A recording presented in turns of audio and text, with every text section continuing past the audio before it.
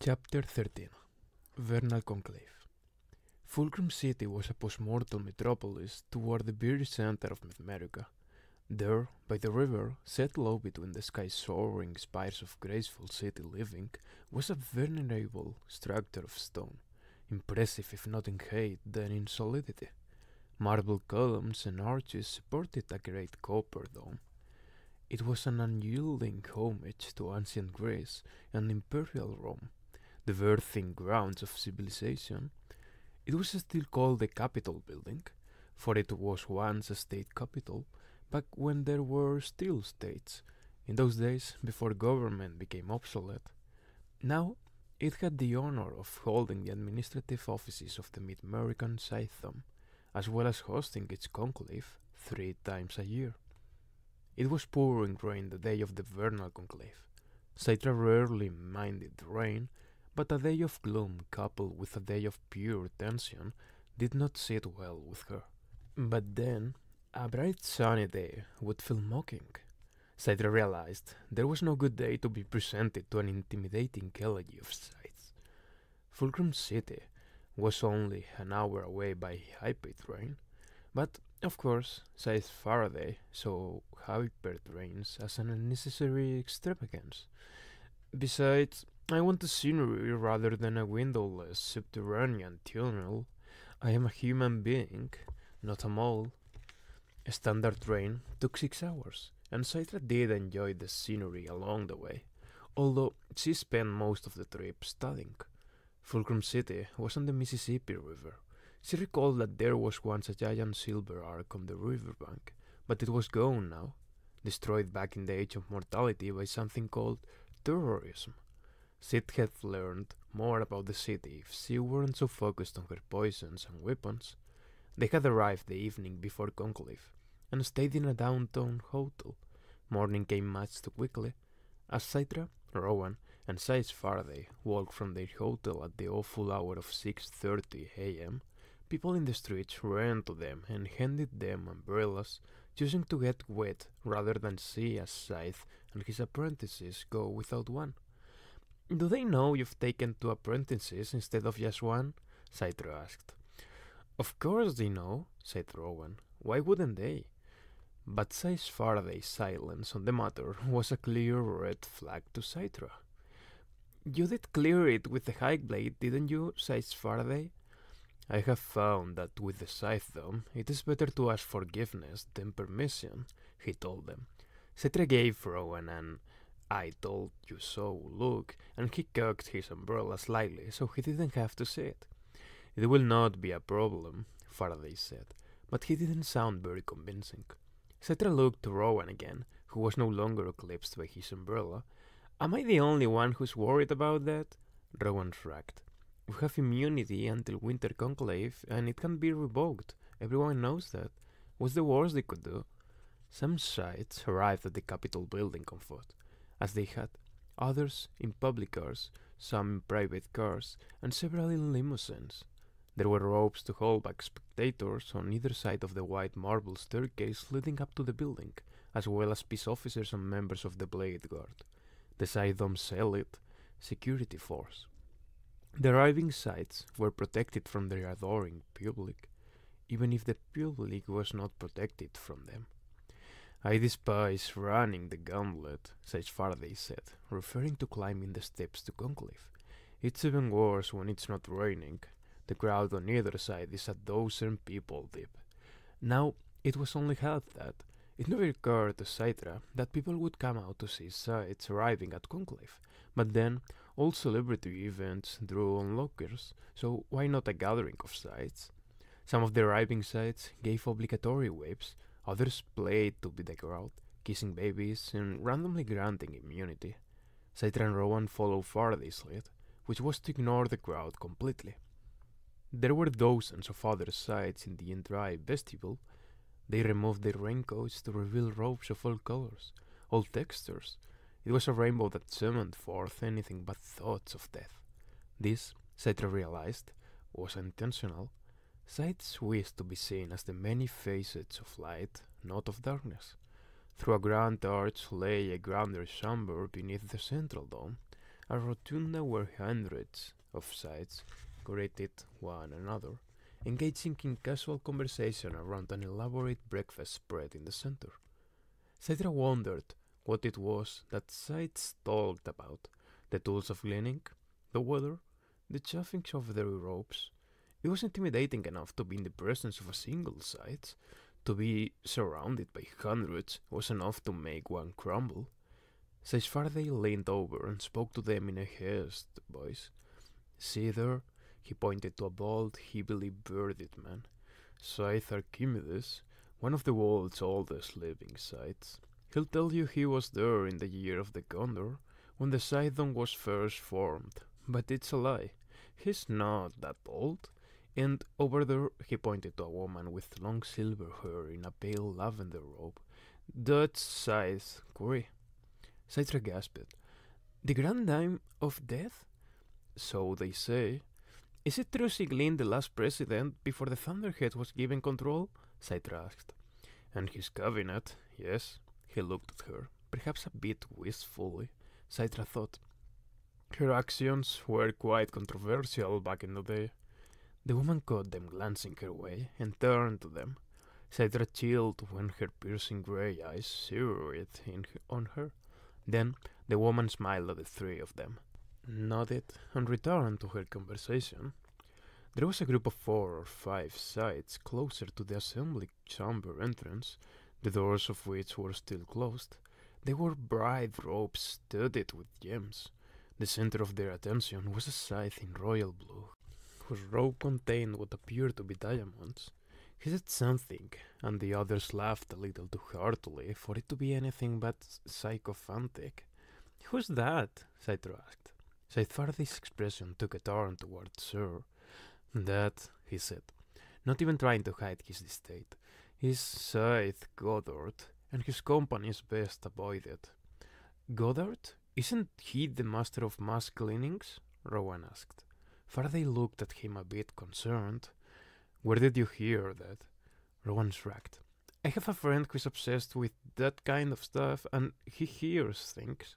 Citra gasped, realizing she had heard of Goddard, not by name, just by deed. Or, more accurately, rumor because there was never any official report. But like Rowan said, you hear things. Is he the one who gleaned an entire airplane? Why? Asked Faraday, giving her a cold, accusing eye. Does that impress you? Citra shook her head. No, the opposite. But she couldn't help but be a bit dazzled by the way the man's robe caught the light. Everyone was, which must have been his intent. And yet, his was not the most ostentatious robe on display. Moving through the crowd was a scythe in a lavishly gilded robe. The man was so large, his robe seemed a bit like a golden tent. Who's the fat guy? Citra asked. He looks important, said Rowan. Indeed, said Scythe Faraday. The fat guy, as you call him, is the High Blade, the most powerful man in the Mid-American Scythedom. He presides over Conclave. The High Blade worked the crowd like a great gaseous planet, bending space around it. He could have tweaked his nanites to eliminate at least some of his girth, but clearly he had chosen not to. The choice was a bold statement, and his size made him an imposing figure. When he saw Faraday, he excused himself from his current conversation and made his way toward them. Honorable Scythe Faraday, always a pleasure to see you. He used both his hands to grip Faraday's in what it was meant to be a heartfelt greeting, but felt forced and artificial. Citra, Rowan, I'd like you to meet Highblade Xenocrates, Faraday said, then turned back to the large man. These are my new apprentices. He took a moment to appraise them. A double apprenticeship, he said jovially. I believe that, at first, most scythes have trouble with just one. The better of the two shall receive my blessing for the ring.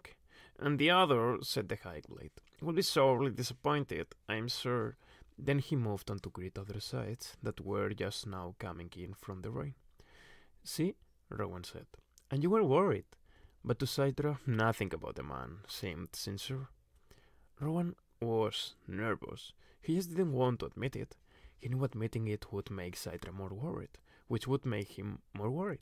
So he beat back his fears and misgivings and kept his eyes and ears open, taking in everything that happened around him. There were other apprentices there. He overheard two talking about how this was the big day. A boy and a girl, both older than him, maybe 18 or 19, would be getting their rings today and become junior scythes. The girl lamented about how, for the first four years, they would have to get approval from the selection committee for their clinics. Every single one, she complained. Like we're babies. At least the apprenticeship isn't four years long, Rowan interjected, as a way to get into the conversation. The two looked at him with mild disgust. I mean, it takes four years to get a college degree, right? Rowan knew he was just digging himself deeper, but he had already committed. At least it doesn't take that long to get a license to glean. Who the hell are you? the girl asked. Ignore him, he's just a spud. A what? Rowan had been called many things, but never that. They both smirked at him. Don't you know anything? said the girl. Spat, as in spatula, it's what they call new apprentices, because you're not good for anything but flipping your scythes burgers. Rowan laughed at that, which just irritated them. Then Citra came up next to them. So, if we're spatulas, what does that make you? Safety scissors? Or are you just a couple of tools? The boy looked like he might slack Citra. Who's your mentor, Scythe? he asked her. He should be told of this disrespect. I am, said Faraday, putting his hand on Citra's shoulder. And you don't warrant anyone's respect until after you receive your ring. The boy seemed to shrink by about three inches. Uh, Honorable Scythe Faraday, uh, I'm sorry, I didn't know. The girl took a step away as if to distance herself from him. Best of luck today, he told them with a magnanimous gesture that they didn't deserve. Thank you, said the girl. But if I may say, uh, luck plays no part. We've both trained long and have been taught well by our scythes. Very true, Faraday said. They nodded respectful goodbyes that bordered on bows, and left. After they were gone, Faraday turned to Rowan and Citra. The girl will get her ring today, he said. The boy will be denied. How do you know? asked Rowan. I have friends on the beguiling committee. The boy is smart, but too quick to anger. It's a fatal flaw that cannot be tolerated. As annoying as Rowan found the kid, he couldn't help but feel a twinge of pity. What happens to apprentices that get denied? They are returned to their families to take up life where they left off. But life can never be the same after a year of training to be a scythe, Rowan pointed out. True, said Faraday, but only good can come from a keen understanding of what it takes to be a scythe. Rowan nodded, but thought, for a man of such wisdom, that seemed very naive. Scythe training was a scarring endeavor, purposefully so, but it was a scarring nonetheless.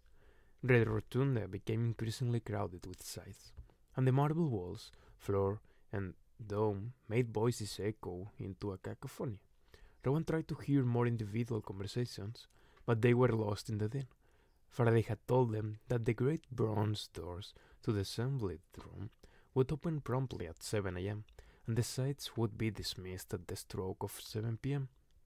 Twelve hours to accomplish any and all business. Anything left undone would have to wait four months until the next conclave. In the early days, said Faraday told them as the doors opened to admit the throng, a conclave would last for three days, but they discovered that after the first day, it became little more than arguments and posturing.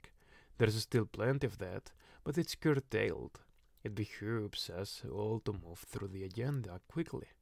The chamber was a huge semicircle with a large wooden rostrum at the front where the high blade sat, and slightly lower seats on either side for the conclave clerk, who kept records, and the parliamentarian, who interpreted rules and procedures if any questions arose. Scythe Faraday had told them enough about the power structure of the Scythedom for Rowan to know that much. The first order of business, once everyone was settled, was the tolling of the names. One by one, in no particular order, the Scythes came to the front to recite various names of people they had gleaned over the past four months. We can recite them all, Scythe Faraday told them. With over 300 scythes, it would be more than 26,000 names. We are to choose then, the ones we most remember, the ones who died most valiantly, the ones whose lives were the most notable. After each name spoken, an iron bell was rung, solemn and resonant. No one was pleased to hear Scythe Faraday reciting Cole Whitlock's name as one of his chosen ten. The tolling of the names got old very quickly for Citra. Even reduced to ten name seats, the recitation lasted for almost two hours. It was novel that the Scythes saw fit to pay homage to the Glint, but if they only had twelve hours to complete three months' worth of business, she didn't see the sense of it. There was no written agenda, so there was no way for her and Rowan to know what came next, and Scythe Faraday only explained things as they happened. When is our test? Will we be taken somewhere else for it? Citra asked, but Faraday seized her. After the tolling of the names, the next order of business was a ceremonial washing of the hands. The scythes all rose and lined up before two basins, one on either side of the rostrum. Again, Citra didn't see the point. All this ritual, it's like something you'd see in a town cult, she said when Faraday returned to his seat hands still damp. Faraday leaned over to her and whispered, Don't let any of the other scythes hear you say that. Do you feel clean after sticking your hands in water that a hundred other hands have been in? Faraday sighed. It brings solace. It binds us as a community. Do not belittle our traditions because one day they may be yours.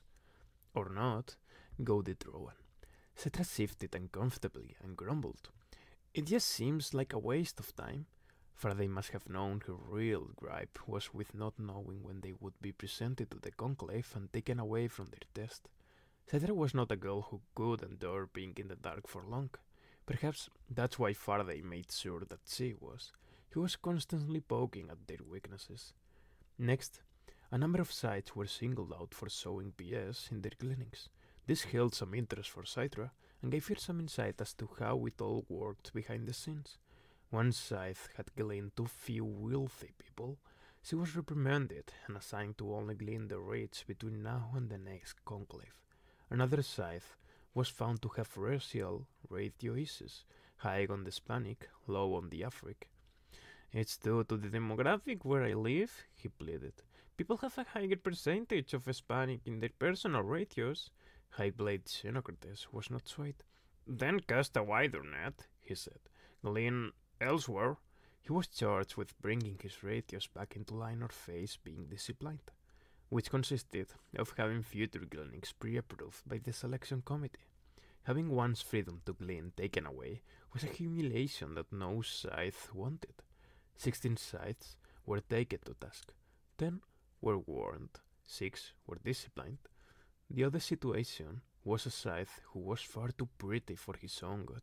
He got called out for gleaning too many unattractive people. What an idea! One of the other scythes shouted out. Imagine what a world it would be if we gleaned only ugly people. That brought a round of laughter from the rest of the room. The scythe tried to defend himself, claiming the old adage, Beauty is in the eye of the beholder, but the high blade wasn't buying it. This was apparently his third such offense, so he was given permanent probation. He could live as a scythe, but could not glean. Until the next reptilian year, the High Blade proclaimed. That's crazy, Citra commented just loud enough for Rowan and Faraday to hear. No one knows what animals' future years will be named after. I mean, the last reptilian year was the year of the Yekod, and that was before I was born. Precisely, said Faraday with a little bit of guilt which means his punishment could end next year or never. Now he'll expend his time lobbying the office of the calendaria to name a year after the skink, or Gila monster, or some other reptile that has not yet been used. Before they moved on from the disciplinary portion of the morning, there was one more scythe to be called out. It was It wasn't a matter of bias, however. I have before me an anonymous note, the High Blade said, which accuses Honorable Scythe Goddard of malfeasance. rumbled throughout the room. Citra saw Scythe Goddard whisper to his inner circle of companions, then stood. Of what malfeasance am I being accused? Unnecessary cruelty in your gleaning. And yet this accusation comes anonymously, said Goddard. I cannot believe that a fellow Scythe would show such cowardice. I demand that the accuser reveal his or herself. More rumbles around the room. No one stood up. No one took responsibility. Well then, said Goddard, I refuse to answer an invisible accuser. She'd expected High Blade Xenocrates to press the issue. After all, an accusation from a fellow scythe should be taken seriously. But the High Blade put the paper down and said, Well, if there's nothing more, we'll take our mid-morning break. And the scythes, Earth's grand bringers of death, began to file out into the rotunda for donuts and coffee. Once they were in the rotunda, Faraday leaned close to Citra and Rowan and said, There was no anonymous accuser. I'm sure that Scythe Goddard accused himself. Why would he do that? asked Citra. To take the steam out of his enemies. It's the oldest trick in the book. Now, anyone who accuses him will be assumed to be the cowardly anonymous accuser. No one will go after him now. Rowan found himself less interested in the stagecraft and powering within the assembly room as he was in the things that went on outside of it. He was already getting a feeling for the Scythedom and how it truly worked.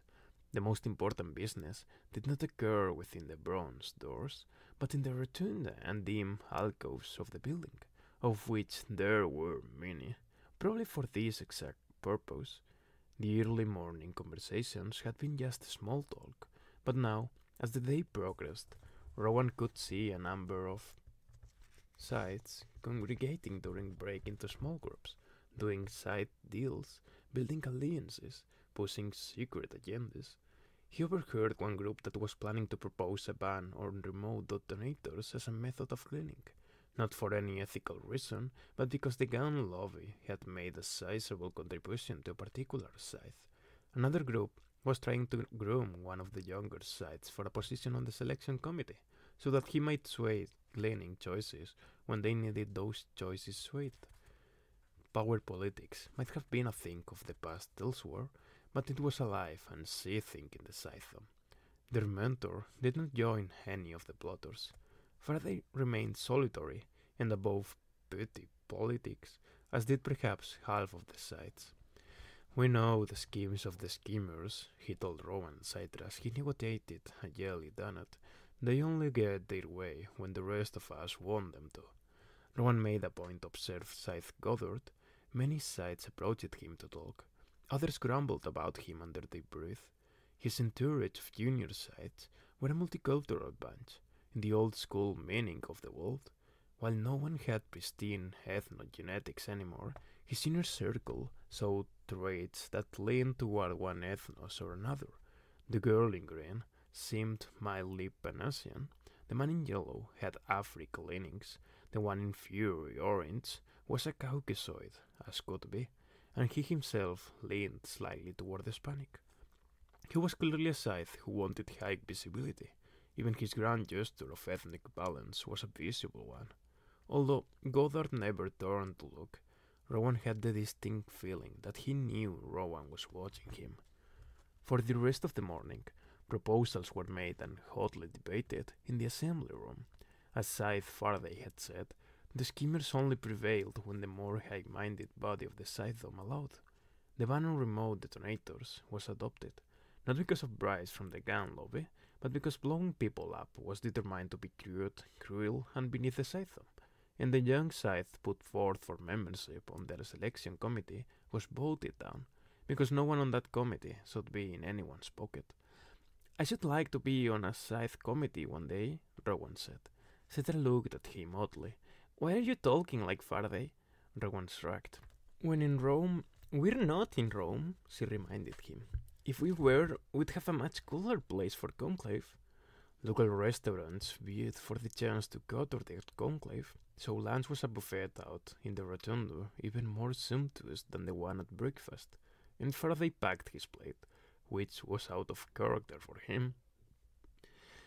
Don't think ill of him, said Curie to Rowan and Citra, her voice mellifluous, yet sharp at the same time. For those of us who take our vow of austerity seriously, conclave is the only time we allow ourselves the luxury of fine food and drink. It reminds us that we're human. Citra, who had a one track mind, took this as her opportunity to get information. When will the apprentices be tested? she asked.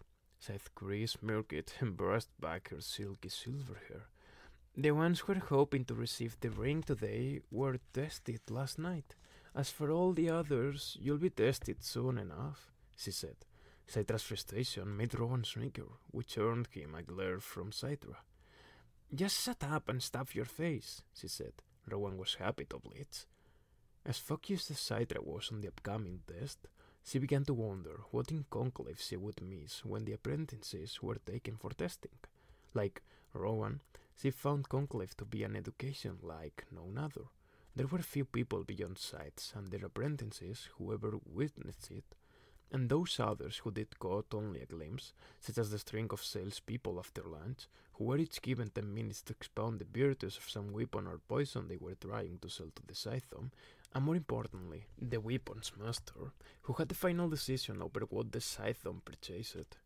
They sounded like those awful people on info holograms, it dices, it slices, but wait, there's more.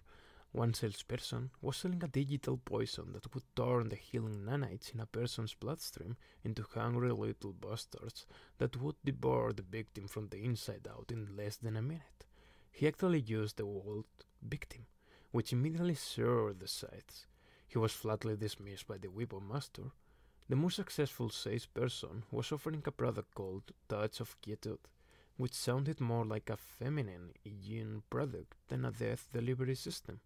The woman selling it displayed a small pill, but not to give to the subject. The pill was for the scythe. Take with water, and within seconds your fingers will secrete a transdermal poison.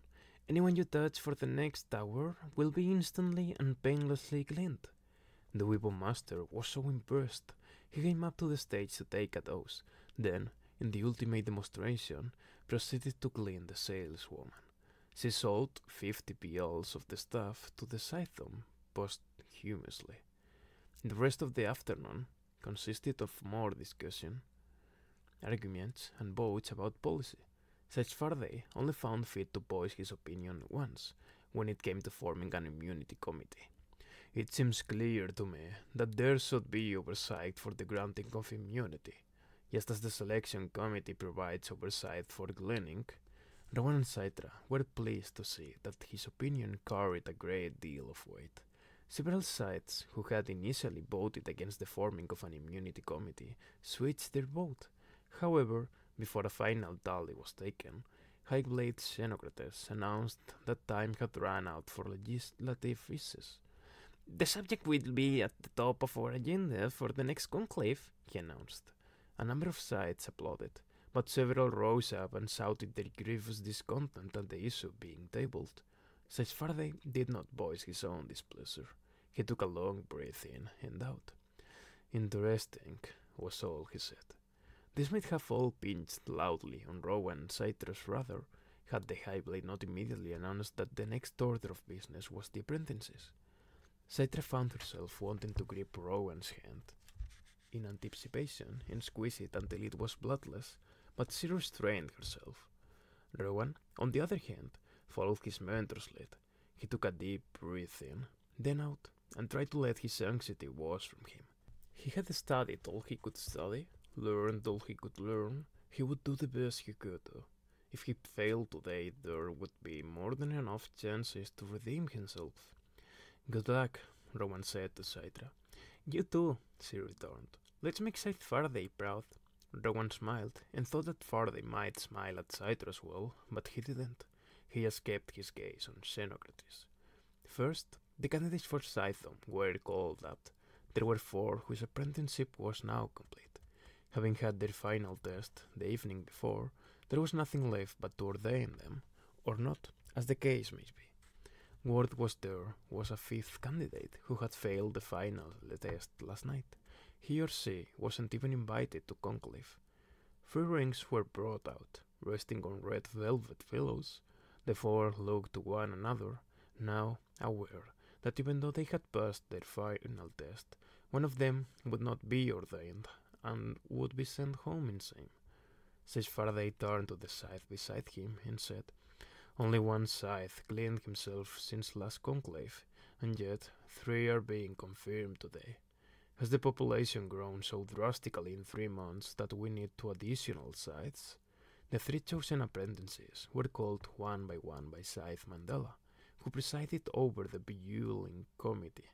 As each knelt before him, he said something about each of them in turn, and then handed them the rings, which they slipped on their fingers and held to show the conclave, which responded for each of them with obligatory applause. Then they announced their patron historic, the luminary from history whom they would name themselves after. The conclave applauded with each announcement, accepting Scythes Gödel, Schrödinger, and Colbert into the MidMerican Scythedom. When the three had left the stage, the hot-tempered boy remained, just as Faraday had said earlier in the day. He stood alone after the applause died down. Then Scythe Mandela said, Ransom Paladini, we have chosen not to ordain you as a scythe. Wherever life leads you, we wish you well. You are dismissed. He lingered for a few moments, as if thinking it might be a joke, or maybe one final test. Then his lips burst. His face turned red, and he strode quickly up the center aisle in the silence, pushing through the heavy bronze doors, their hinges complaining at his exit. How awful, said Citra. At least they could applaud him for trying. There are no accolades for the unworthy, Faraday said. One of us will exit that way, Rowan pointed out to her. He resolved that if it was him, he would take his time going down that aisle. He'd make eye contact and nod to as many sides as he could on his way out. Were he to be ejected, he would leave that final conclave with dignity. The remaining apprentices may now come forward, said Xenocrates. Rowan and Citra rose, ready to face whatever the Scythedom had in store for them. I do believe people still fear death, but only one and one hundredth as much as they used to. I say that because, based on current quotas, a person's chance of being gleaned within the next 100 years is only 1% which means the chance that a child born today will be gleaned between now and their 5000th year on Earth is only 50%. Of course, since we no longer count the years numerically, aside from children and adolescents, no one knows how old anyone is anymore. Sometimes, not even themselves. These days, people roughly know within a decade or two. At the writing of this, I can tell you that I am somewhere between 160 and 180 years old, although I don't enjoy looking my age. Like everyone else, I turn the corner on occasion and set my biological age back substantially. But like many scythes, I don't set it back past the age of 40. Only scythes that are actually young like to look young. To date, the oldest living human being is somewhere around 300, but only because we're still so close to the age of mortality. I wonder what life will be like a millennium from now, when the average age will be nearer to 1000.